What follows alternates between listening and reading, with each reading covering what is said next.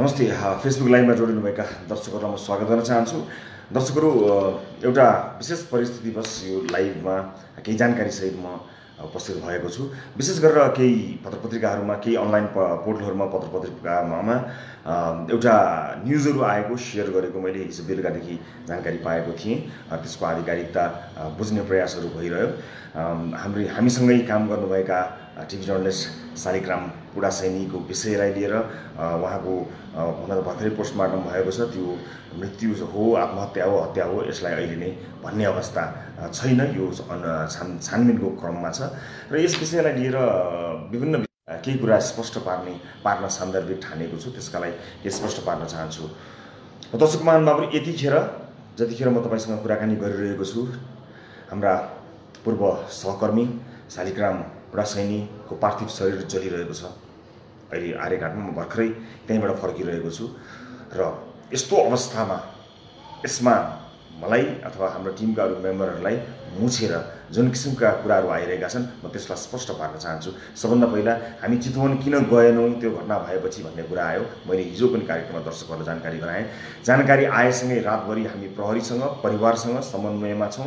त्यही दिन बेलुका हिजोको दिन बेलुका कार्यक्रम पनि परेको र मैले खेम भण्डारीजीको पूर्व निर्धारित अन्तर्वार्ता पनि थियो। मैले खेम भण्डारीजीलाई रिक्वेस्ट गरेँ खेमजी हाम्रो पूर्व सहकर्मीको निधन भएको छ। आज कार्यक्रमलाई रोकेर बिहिबार गरौँ न।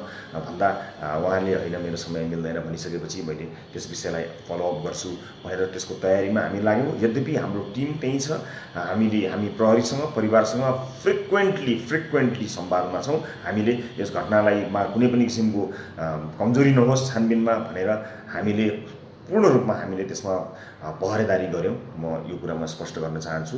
हामी एसपी डिएसपी लगायत अस्पताल सबै मतलब जति पनि सम्बद्ध हुनुहुन्छ उहाँहरू सबैसँग कुराकानी गरिरहेका छौँ र स्पष्ट गर्न चाहन्छु। र अर्को कुरा के आइरहेको छ रहेछ अहिले भने एउटा भिडियो अथवा अडियो रेकर्डिङ छ त्यहाँ चाहिँ शालिग्राम पुडा सैनीलाई हामीले गर्दाखेरि आत्महत्या गर्नु परेको मैले अथवा मेरा प्रड्युसर दिपक बोराको पनि नाम मैले कता कता देखेको थिएँ। यद्यपि प्रहरीले यस्ता किसिमका कुनै पनि अनर्गल कुरामा अहिले नलाग्नु होला यो अनुसन्धानको पाटो हो अनुसन्धान आएपछि मात्र भन्नु होला भनेर विज्ञप्ति नै निकालिसकेको छ। त्यो विज्ञप्ति हेर्ने फुर्सद कसैले निकाल्नु भएको छैन एउटा कुरा। र मैले बारम्बार मैले प्रहरीलाई भनेको छु यदि त्यस्तो छ भने मलाई बोलाउनु होला मलाई बुझ्नु होला मबाट अथवा हाम्रो टिमको कोही पनि मानिसबाट कुनै पनि किसिमको कमजोरी भएको छ भने कानुनी दायरामा आउनुपर्छ भन्नु होला। र म स्पष्ट पार्न चाहन्छु करिब दुई महिना अगाडि शालिग्राम पुटा सैनीजी हामीबाट बिदा लिएर जानुभयो। माउन्टेन टेलिभिजनमा मार्केटिङ अथवा कार्यक्रमको लागि राम्रो अफर आएको हुनाले दाइ जान दिनु होला भन्नुभयो। केही बेर अगाडिसम्म मलाई मैले तपाईँ यति राम्रो काम गर्ने साथी नजानुहोस् सँगै बसौँ के गरिन्छ कसो गरिन्छ सँगै गरौँला भने होइन मेरो राम्रो अवसर आएको छ दाइ म जान्छु भन्नुभयो र उहाँले आँखाभरि आँसु पार्नुभयो र मैले भने हुन्छ आफ्नो प्रगति गर्नु जानु समयमा सँगै रखौँला केही त्यस्ता इस्युजहरू भयो भने सँगै काम गरौँला भने। त्यसभन्दा पछाडि बिदा भइसकेपछि न मेरो उहाँसँग एकपटक कुराकानी भएको छ न कुनै कन्भर्सेसन छ न कुनै म्यासेज गरेको छु न केही भनेको छु। मैले अन्य टिमका सहकर्मी साथीहरूका बारेमा पनि मैले बुझेको छु न उहाँ यस किसिमको कुनै पनि कुरा छैन।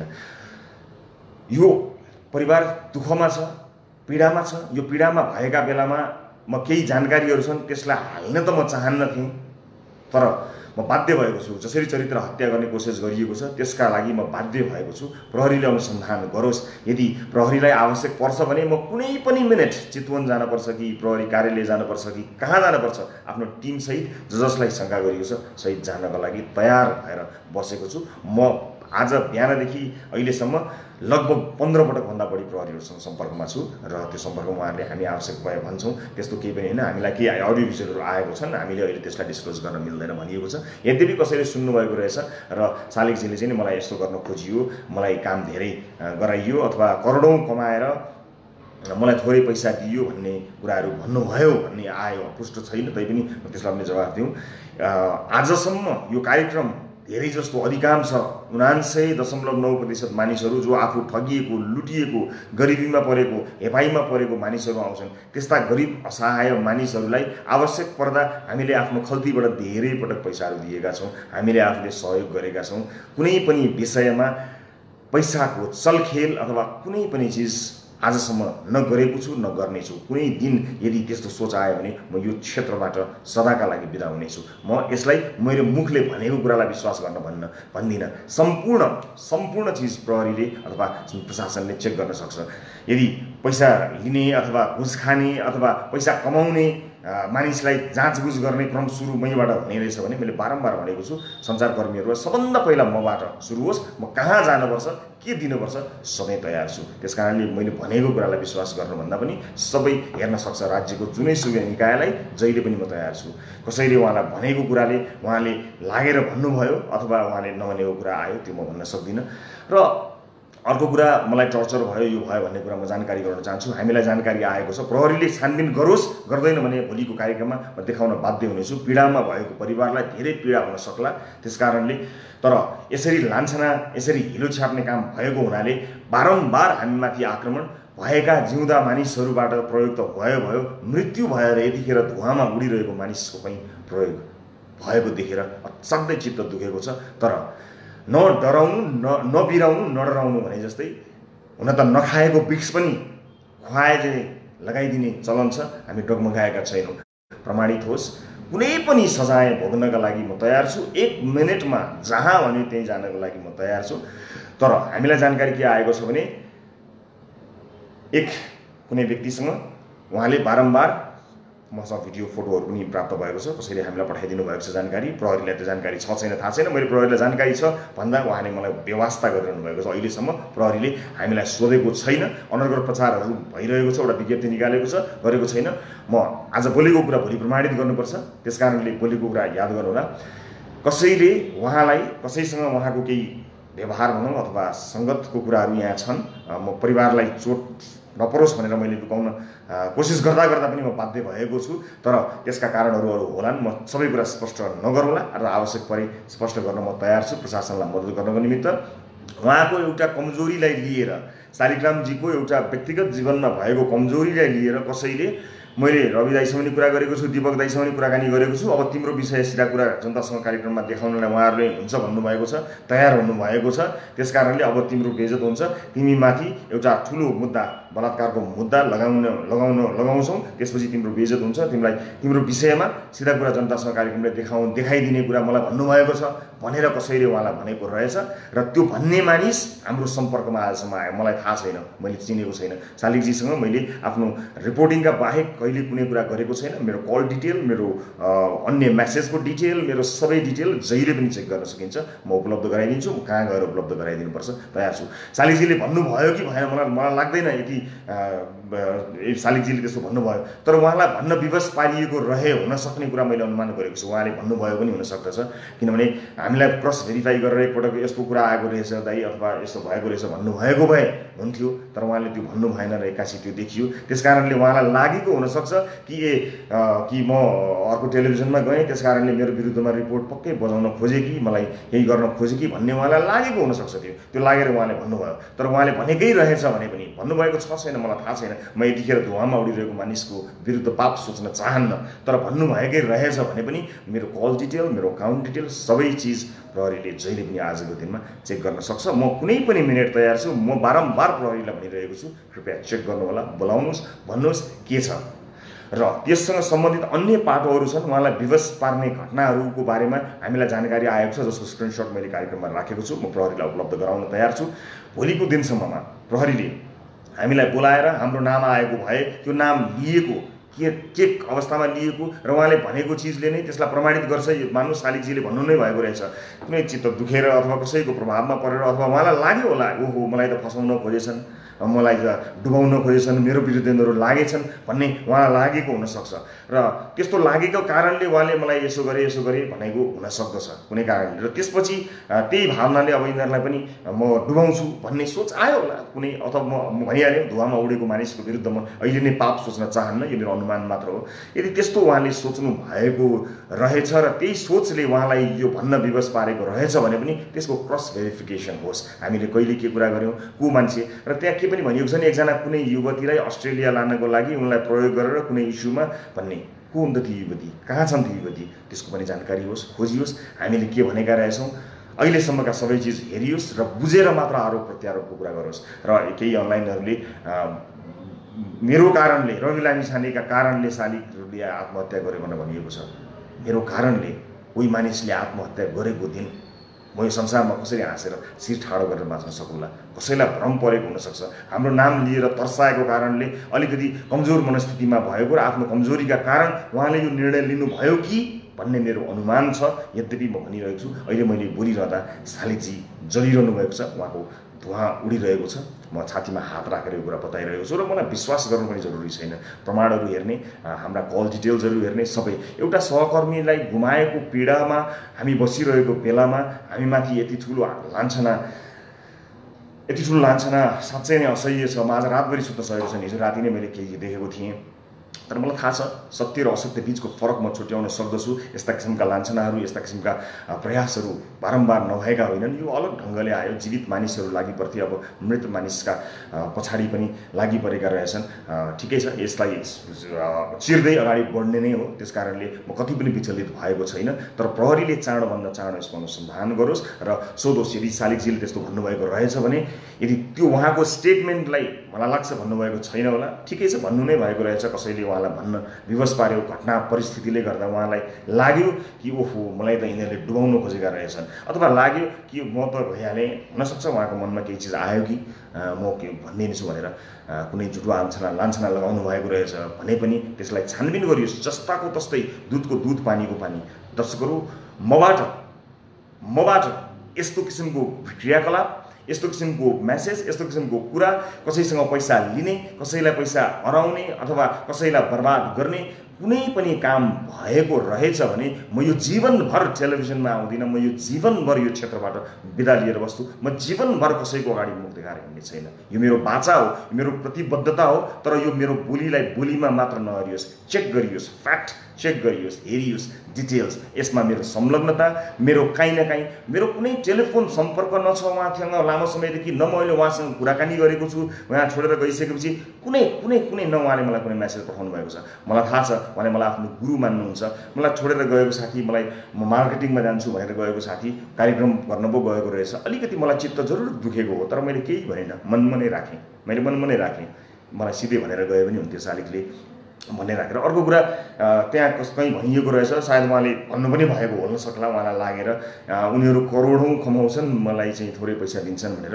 स्मरण रहोस् न्युज ट्वेन्टी फोर टेलिभिजनले हामीले मैले मैले कसैको पनि स्यालेरी दिन्न। न्युज ट्वेन्टी फोर टेलिभिजनका हामी कर्मचारीहरू हौँ। हामीलाई यो टेलिभिजनले स्यालेरी दिन्छ।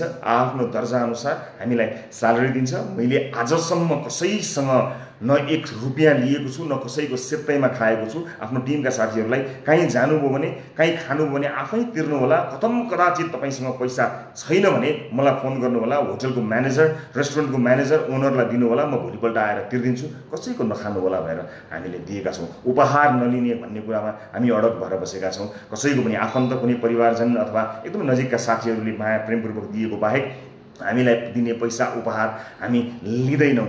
हामीले स्पष्ट रूपमा पारेका छौँ। र यति सबै चिज भइरहँदा पनि यदि कसैलाई त्यस्तो लाग्यो अथवा स्वयं शालिगजीलाई पनि त्यस्तो लागेको हुनसक्दछ केही कुराले भने त्यसलाई प्रमाणित गरियोस् हेरियोस् बुझियोस्। हामीले धेरै मेहनत गरेर जन यो ज्यानलाई हत्केलामा लिएर मेहनत गरेर कमाएको यो विश्वास दर्शकहरूको यसलाई कसै कसैले पैसा खाएको रहेछ नि त अथवा एउटाले आरोप लगाइदिए नि छ भनेर एउटा सानो ढुङ्गाले हानेर टुटाउने प्रयास नगरियोस् हामी माटोको भाँडो पक्कै होइनौँ। त्यति धेरै बलियो असाध्यै मजबुत छैनौँ होला तर त्यति कमजोर पनि छैनौँ। या आज कुनै मान्छेले पैसा बोकेर हामीलाई किन्न सकोस्। असम्भव। बरु त्यस्ता पैसा बोकेर आउनेहरूको अपरेसन गरेर स्टिङ अपरेसन गरेर टेलिभिजनमा कैयौँ देखाएका छौँ। कुनै पैसाका बिटावालाहरूले किन्न सक्ने भए म विलासित जिन्दगीमा त्यही कम्प्रोमाइज गरेर बस्न सक्ने थिएँ। जुन विलासित जिन्दगी मैले भोगेको छु अमेरिकामा बस्दाखेरि सायद यो जीवनमा अब त्यो मैले सक्दिनँ होला। तर मलाई त्यसको कुनै मोह छैन। म लग्जरीको मोह पैसा कमाउला भनेर केही गरौँला भनेर यो क्षेत्रमा होमिएको मानिस होइन।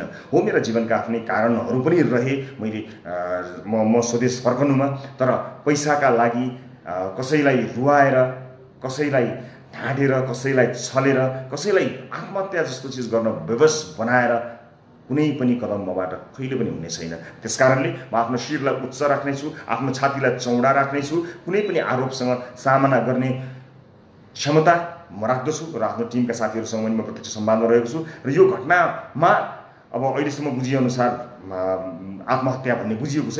यद्यपि पोस्टमार्टमका रिपोर्टहरू आइसकेका छन् शालिगजीले कसैलाई पठाएको म्यासेजहरूमा पटक पटक म सुसाइड गर्छु भनेर बिस किनेर ल्याएर बिसको फोटो समेत राख्नुभएको रहेछ। डिप्रेसनको औषधि समेत त्यहाँ राखिएको छ। म डिप्रेसनको बिरामी रहेछु भनेर उहाँले कसैलाई च्याटमा गर्नुभएको र त्यहाँ औषधि समेत राख्नुभएको थियो। त्यो मानिसको हो प्रहरीलाई हामी सहयोग गर्न चाहन्छौँ। विक्षिप्त अवस्थामा परिवार छ। त्यस कारणले मैले धेरै कुरालाई अहिले बताइरहँदा त्यो आफ्नो परिवार मित्र प्रियजन गुमाएको परिवारका लागि यो पीडा हुन्छ। त्यस कारणले यो प्रयास लासभित्र पनि राजनीति गरेर मलाई गिराउने प्रयास जुन गरिरहनु भएको छ असफल हुन्छ। केही दिनसम्मलाई यो चल्ला। ठिक छ? चलाउनु होला। तर म दावाका साथ भन्छु मबाट त्यस्ता कमी कमजोरी भएकै छैनन्। मैले त्यस्तो कुनै किसिमको क्रियाकलाप गरेको छैन र म गर्ने पनि छैन। त्यस्ता घृणित क्रियाकलापहरूको सहारा लिएर मलाई यो जिन्दगी चलाउनु नै छैन। त्यस कारणले तर फेरि पनि भन्छु मैले बोलेको कुरालाई भन्दा मेरा सम्पूर्ण डिटेल्सहरूलाई विश्वास गरियोस्। प्रहरीलाई म अनुरोध गर्न चाहन्छु यथाशीघ्र हामीलाई लियोस् नियन्त्रणमा लियोस् ज जसको नाम उहाँले भन्नुभएको छ र उहाँले के भन्नुभएको रहेछ? त्यो भनेको कुरा सत्य हो कि होइन? भनेको कुरालाई प्रमाणित गर्ने चिज उहाँले पहिलो त आरोप लगाउनु भएको हो कि होइन? यदि हो आरोप लगाउनु भएको रहेछ भने त्यो आरोप पुष्टि गर्ने आधारहरू त होला नि। हो ती आधारहरू प्रहरीले प्रमाणित गरेछ भने तपाईँको अगाडि यसरी अनुहार देखाएर यो जीवनमा आउने छैन। यो मेरो वचनबद्धता हो। धेरै के भनौँ एउटा सहकर्मी घुमाएको पिर राम्रोसँग पर्न नपाउँदै लान्छनाहरूको ढुङ्गाहरू प्रहार भएको छ। तर मलाई के थाहा छ भने सगरमाथाको चुचुरोमा पुग्ने मानिसहरूले अनेकौँ बेस क्याम्पहरूमा आउने हिउँ पहिरो आँधी बेरीहरूसँग सङ्घर्ष गर्नै पर्दछ। यदि ती आँधी बेरीहरूमा ती मोडहरूमा मानिस थाक्यो सुस्तायो लड्यो मऱ्यो भने ऊ चुचुरोमा कहिल्यै पुग्ने छैन। चुचुरोको लक्ष्य बोकेर हिँडेका छौँ हामी। त्यस कारणले साना साना सानो घटना ठुलो हो तर हामीलाई लागेको यस्ता चिजहरूबाट हामी कति पनि विचलित छैनौँ कहीँ पनि विचलित छैनौँ। र मलाई थाहा छ मैले भनेको यो भिडियोभन्दा कसैले आफ्नो च्यानललाई प्रमोट गर्न राखेको शीर्षक बिक्री हुनेछ। म आज पशुपति आर्यघाटमा लामो समय बस्ने विचार दिएको गरेको थिएँ। क्यामेराहरू यसरी तेर्सियो कि मैले रुन समेत पनि पाइनँ। मेरो आँखा रसाएको अवस्था थियो। शालिकजीको श्रीमती रोइरहेको त्यो दृश्य देखेर मलाई असहज भएको थियो। तर क्यामेराहरूलाई सायद मेरो अनुहारको एक्सप्रेसन मेरो आँसुको एकदमै धेरै खोजी थियो। मैले रुन पनि पाइनँ। यति धेरै कि कोही त प्रश्न गर्न पनि आए। आर्यघाटमा एउटा सहकर्मी पूर्व सहकर्मीको लास त्यहाँ जलिरहेको थियो तर मसँग कसैलाई जवाफ चाहिएको थियो। कोही मलाई प्रश्न गर्न खोजिरहनु भएको थियो। कसैलाई मेरो बाइट चाहिएको थियो त्यसलाई बेच्नु थियो त्यसलाई कसैलाई त्यसलाई धेरै भ्यू कमाउनु थियो धेरै पैसा कमाउनु थियो शीर्षक हाल्नु थियो सायद। मैले आफ्नो आवेगलाई आफ्नो आँसुलाई कन्ट्रोल गरेँ र उहाँहरूको एउटा शीर्षक बिग्रियो। रवि लामी छाने यसरी रोए भन्ने एउटा शीर्षक बिग्रियो। माफ गर्नुहोला तपाईँको शीर्षक बिगारेँ तपाईँको भ्यू घटाइदिएँ त मेरो कारणले म नरुनाले म चाँडै जान तपाईँले लखेट्नु भएको कारणले तपाईँको धेरै भ्युजहरू घट्यो। कति साथीहरू त आउन पनि भ्याउनु भएन होला बाइटै छुट्यो होला भिजुअलै छुट्यो होला कहीँ कतैबाट लिएर राख्नु होला सकेसम्म बेच्नु होला सकेसम्म बेच्नु होला। मेरो तपाईँलाई यही बिन्ती छ र म एउटा पूर्व सहकर्मी गुमाएको पीडामा छु। यसलाई कृपया मजाक गर्ने यसलाई समाचार बनाएर खेती गर्ने र प्रतिशोध उतार्नका लागि प्रयोग नगरिदिनु होला म यहाँलाई विनम्र अनुरोध गर्न चाहन्छु। आफ्नो राजनीतिक आस्था र विश्वासमा खोल ओढेर लुगा लगाएर मलाई हेर्ने चलन छ। न मैले आजसम्म कुनै राजनीतिक दलको सदस्यता लिएको छु न मलाई कुनै राजनीतिक दलसँग आजको दिनसम्म विश्वास छ न म कुनै राजनीतिक दलको कार्यालयको ढोकामा आजसम्म छिरेको छु। हो आफैलाई भ्रम परे थाहा छैन र कसैबाट परिचालित र सञ्चालित म यो जिन्दगीमा हुँदिनँ भन्ने प्रतिबद्धता मैले लिएको छु। म जे पनि गर्दछु आफ्नो ब्रह्मले सोचेर जानेर बुझेर गर्दै आएको छु र त्यसबिचमा भइपरि आउने जति पनि लान्छनाहरू छन् तिनलाई डटेर सामना गर्नेछु र फेरि पनि भन्छु नखाएको विष पनि लाग्ने जमानामा अलिकति होसियार त हुनै पर्दछ तर फेरि पनि भन्छु हामी त्यति पनि कमजोर छैनौँ कि केही लान्छनाहरूका ढुङ्गाले माटोको भाँडो जस्तो यो आधार यति धेरै दर्शकहरूको माया र विश्वासले बनेको यो आधार चर्कियोस् वा टुक्रियोस्। मेरो भनाइमा मेरो बोलाइमा मेरो स्टेटमेन्टमा मैले बताएको कुराहरूमा अथवा मेरो इमोसन्समा गएर होइन तथ्य र प्रमाणहरू देखाएर हेरेर फ्याक्ट चेक गरेर यदि मबाट अथवा हाम्रो टिमबाट कसैबाट गल्ती भएको छ भने इमिडिएटली एक सेकेन्ड पनि ढिला नगरी कारवाही गरिनुपर्छ। होइन भने यस्ता अफवाह फैलाउने हरूबाट तपाईँ दर्शकहरूलाई सावधान हुन अनुरोध गर्न चाहन्छु। भोलिको दिनसम्म प्रहरीले यसको वास्तविकता पत्ता लगाएन भने हामी छर्लङ्ग हुने गरी भोलिको कार्यक्रममा प्रस्तुत गर्नेछौँ।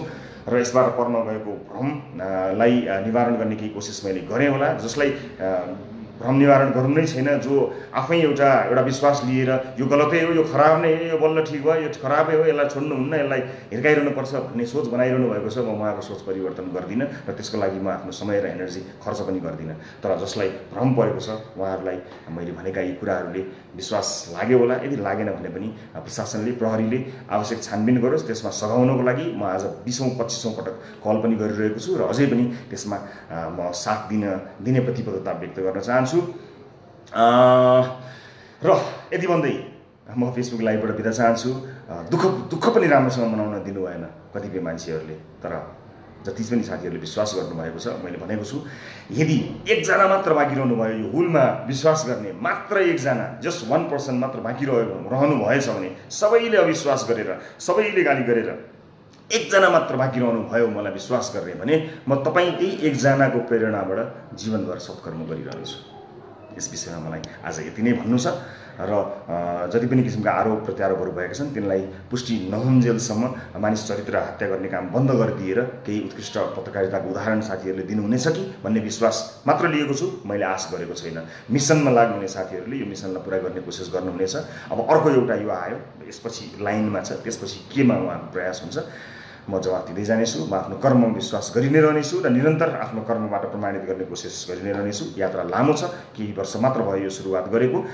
भन्दै सायद लामो नै भयो होला यो भनाइ। अहिले म यही बाट बिदा चाहन्छु र जति पनि अहिले यहाँ फेसबुक लाइभमा जोडिनुभएका र यसलाई पछि रेकर्डेड लाइभ हेर्नुहुने सबै साथीहरूलाई अहिलेसम्मको माया विश्वास र सद्भावका लागि धेरै धेरै धन्यवाद दिन चाहन्छु। तपाईँहरूको शिर कहिले पनि झुक्न दिने छैन। हवस्